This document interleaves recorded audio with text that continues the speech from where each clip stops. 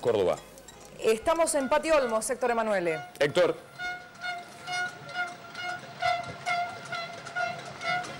Muchísimas gracias. Muchísimas gracias. Los cordobeses también salieron con la cacerola a protestar. La marcha a esta hora es multitudinaria. Se han congregado en la esquina que tradicionalmente es de festejos, pero en esta oportunidad lo hacen para protestar. Principalmente la crítica es hacia, el intento de la reforma del Poder Judicial y también de una probable re-reelección, Rodolfo y Cristina.